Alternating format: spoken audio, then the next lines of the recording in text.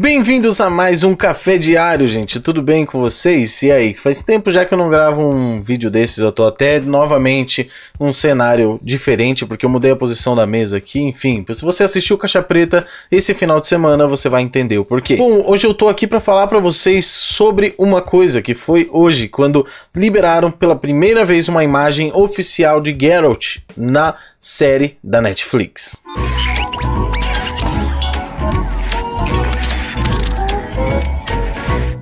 Bem como a maioria de vocês sabe, quem vai fazer o Geralt na série da Netflix é o Henry Cavill, que é o ator que fez o super-homem mais recente dos filmes da DC. Ele realmente é um ótimo super-homem, cara. Mas e aí? Fica bom como Geralt? Bom, eu vou mostrar para vocês o teaser que eles postaram para vocês também tirarem as próprias conclusões caso não tenham visto. Roda aí.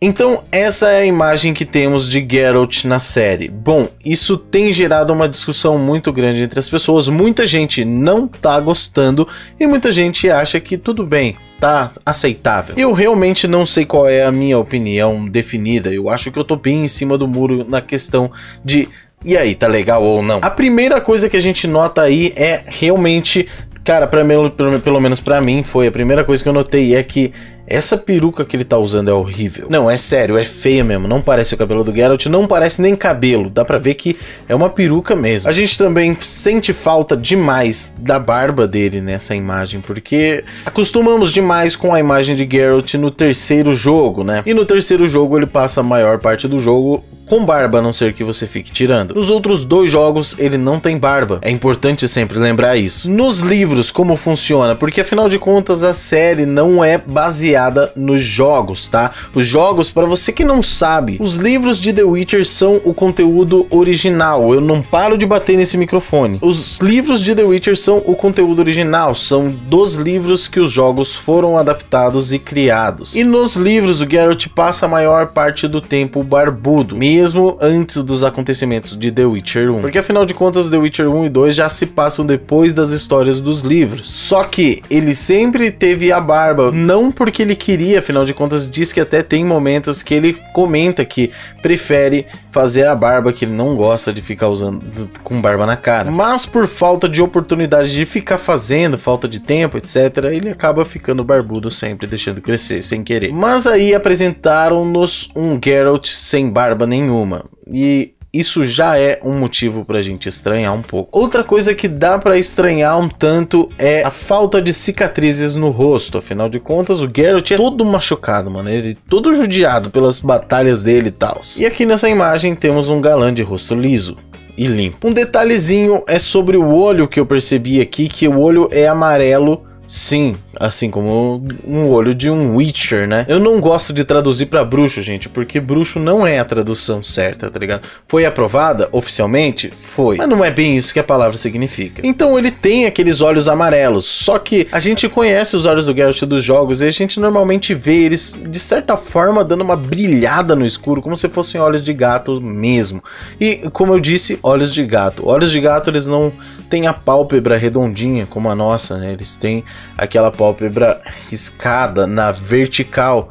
E ali o Geralt não tem, tá normal o olho dele. E uma coisa que foi a que mais me incomodou ali, que é, eu já vou explicar para vocês o porquê que todos esses outros motivos podem ser críticas bobas, mas uma coisa que me incomodou foi a expressão facial dele ali. Porque o Geralt é um é um Witcher de, sei lá, 100 anos de idade. É mais de 100 anos, eu não faço ideia de qual é a idade dele. Parece que o Vesemir tem uns 250, alguma coisa assim. Enfim, ele é velho, ele já passou por muita coisa, ele não tem sentimentos, tecnicamente dizendo, né? Esse negócio dos sentimentos, enfim. Mas esse ator, ele fez um Geralt meio com cara de coitado, cara de galã, eu não sei, cara do que que é, sabe? Ele, ele chega meio assim, ó. Ao invés de ser aquele cara mais mal encarado e mais duro na sua expressão como Geralt é. Ele não passou o sentimento do Geralt ali naquela expressão facial. E é esse o único ponto que realmente me incomoda. Mas por que que esse é o ponto que me incomoda? Com todos os outros defeitos, é esse que eu tô criticando? Sim, porque esse é o que remete à atuação do personagem. Os, as outras coisas podem muito bem ser apenas que aquilo não é o resultado final. Vocês já pararam para pensar que essa imagem parece muito com, sabe, quando vão escolher os atores que fazem aqueles testes, o casting, pode muito bem ser um figurino improvisado que fizeram só na hora pra ver como que se saiu ali. Eu torço realmente para que isso não seja a versão final do Geralt, porque eu não fiquei feliz com aquela aparência, principalmente aquela peruca horrível. Mas o que me preocupou mesmo foi a questão da atuação. Eu espero que isso tudo melhore com o passar e o entender da série. Eu espero que o Henry Cavill ele não só pegue o que está escrito no roteiro e represente, porque assim ele não vai entender a essência da coisa por completo. Eu espero que o cara vá, jogue,